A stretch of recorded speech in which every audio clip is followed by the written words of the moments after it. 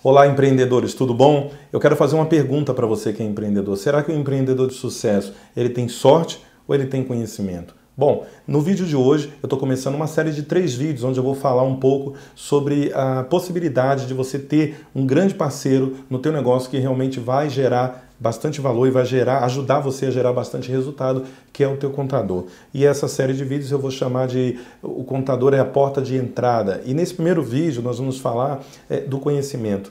A gente sabe que quando o empreendedor começa um negócio, inicia lá a sua atitude empreendedora, ele provavelmente ele conhece um pouco da área que ele vai atuar, ou ele já trabalhou nessa área numa grande empresa ou numa pequena empresa e ele decidiu empreender. Então ele traz sim um certo conhecimento.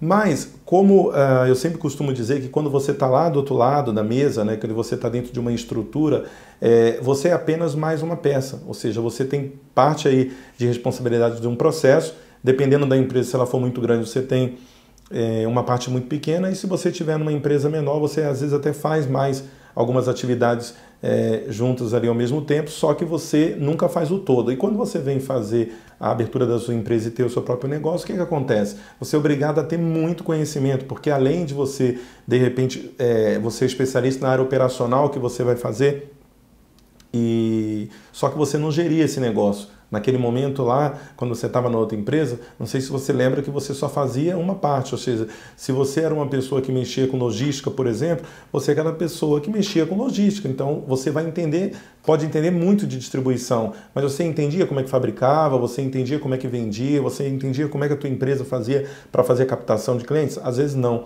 Então nesse momento, o conhecimento ele é muito importante. E onde que entra o contador nesse processo? O contador ele entra justamente é, pela expertise que a gente acaba desenvolvendo, lidando com muito, principalmente quando você pega um contador especializado. Por exemplo, na área da saúde, nós somos especializados na área da saúde. Então, é muito fácil entender quais são as dores, por exemplo, que um dentista tem para gerir o seu negócio, qual é a dor que um médico tem para gerir o seu negócio nessa parte é, empresarial. E eu tenho condições, a minha equipe tem condições de ajudar esses profissionais da área da saúde a terem bastante sucesso. Por quê? Porque eu já sei os, os maiores problemas e provavelmente já sei também as, as principais soluções que você tem para isso. E quando você se sente isolado e no começo do seu negócio, lembrando que você tem pouco recurso é, financeiro para colocar no negócio, o que, que acontece? Você se vê perdido por quê? Porque você precisa trazer pessoas capacitadas, pessoas que entendam, é, que já desenvolveram ou têm as habilidades que você não tem, e aí você precisa trazer essas pessoas e você não tem dinheiro, você não tem capital financeiro para atrair esses bons profissionais. E aí você é obrigado o quê? Você é obrigado a desenvolver essas habilidades. E o contador, ele pode te ajudar, ele pode encurtar esse teu caminho. Então, quando você inicia um negócio, primeira coisa, vai conversar com o teu contador sobre a experiência que ele tem no setor, o que ele eh, percebe que as pessoas têm mais dificuldade, que as pessoas vêm implementando, que vêm resolvendo, solucionando seus problemas e provavelmente nesse nível de conhecimento ele vai te ajudar bastante, porque ele vê o dia a dia dos, a, a, dos empreendedores no teu segmento e provavelmente ele vai poder te ajudar. E não tem como você não buscar esse conhecimento, ou você vai buscar com seu contador, vai contratar um consultor, enfim, vai estudar sobre isso, mas em, em, em muitos casos você não tem tempo para fazer isso. As coisas são muito dinâmicas e assim, o tempo é muito curto para você investir tanto tempo em estudo. Você precisa encurtar isso aí, você vai encurtar